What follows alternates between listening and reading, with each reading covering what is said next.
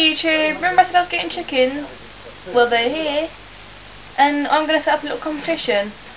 I want you to name my chickens. I don't know if they're boys or girls yet, so try and come up with two girl names, two boy names. And then when I figure out what they are, I'll pick the winners. Would you like to see them?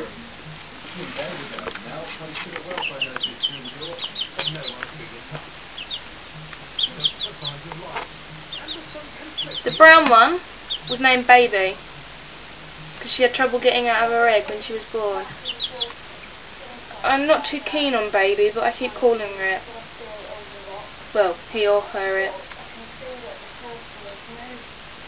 But I would like a different name.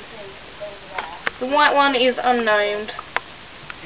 So, go on YouTube, name my chick.